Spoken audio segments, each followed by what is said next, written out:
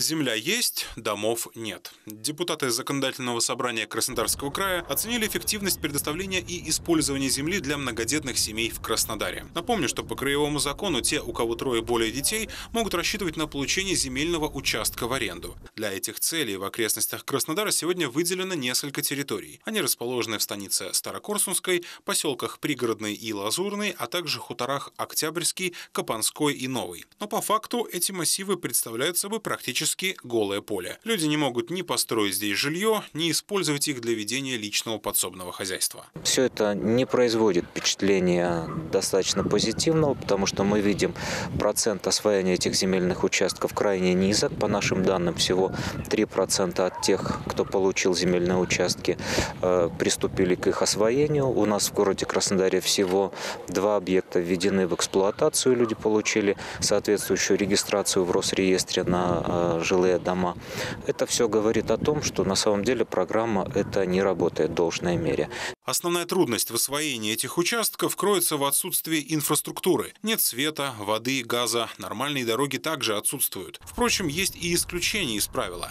Положительный пример – поселок Лазурный, где протянули линию электропередачи и почти решили вопрос с водой. Пробурили три скважины и возводят здание для насосной станции. В 2017 году были построены э, линия водоснабжения полностью на всей территории данного массива. Это порядка 16, более 16 километров трубопроводов. И на сегодняшний день проводятся работы подрядчиком, заключен контракт в прошлом году. В этом году он завершается по строительству водозаборных сооружений э, и для того, чтобы запитать полностью данную систему. Но есть и другие сложности. Некоторые семьи, получив в аренду участки, по каким-то причинам на них так и не появились и, видимо, осваивать не собираются. При этом очередь на такую землю в Краснодаре не маленькая, более трех с половиной тысяч многодетных семей. Общественники отмечают, что проблемы копились долгое время, и сейчас наконец-то наметились положительные тенденции.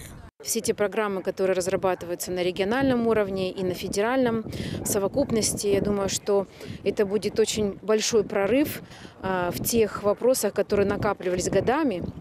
И сейчас власти за них э, взялись очень конкретно. И те вопросы, которые есть э, на сегодняшний день и в городе, и в крае, они решаются, мы видим это.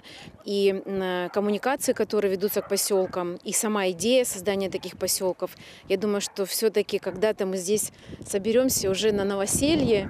В профильном комитете ЗСК отмечают, помимо предоставления земельных участков, необходимо прорабатывать иные меры социальной поддержки многодетных семей. Мы сегодня все убедились, порядка 90% многодетных семей не могут построить жилье в силу материальных условий жизни. Следовательно, здесь нужно исходить из того, что нужно предоставить иную форму поддержки. Это может быть или земельный сертификат, или жилищный сертификат, обеспеченный определенными финансами. Все эти изменения готовятся профильным комитетом к июньской сессии Кубанского парламента. Впрочем, некоторые вопросы лучше решить поскорее. К примеру, с арендой, которую люди просят продлить, так как не успевают построить жилье в установленный срок. Это предложение рассмотрели на 22-й сессии. В настоящее время э, в связи с внесенными изменениями в Земельный кодекс 1 марта 2015 года срок предоставления в аренду земельных участков составляет 20 лет. Соответственно, до того было 10 лет.